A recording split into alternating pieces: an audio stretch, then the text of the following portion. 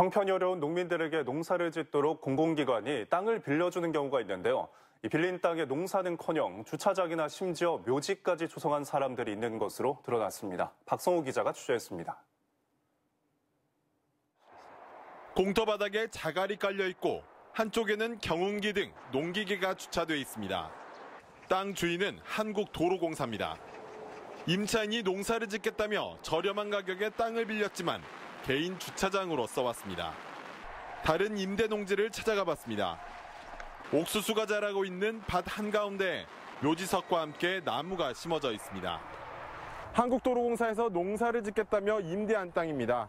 실제로는 이렇게 수목장 부지로 사용되어 왔는데요. 한국도로공사는 이런 사실을 까맣게 모르고 있었습니다. 해당 임차인은 2008년부터 땅을 10년째 임대해왔고 수목장 부지를 조성한 것도 수년이 지난 것으로 드러났습니다. 일제 조사는 하죠. 하긴 하는데 창고를 짓는 거잖아요. 그러면 금방 다 자라잖아요. 이런 거 같은 경우는 조화가 돼야 말이잖아요.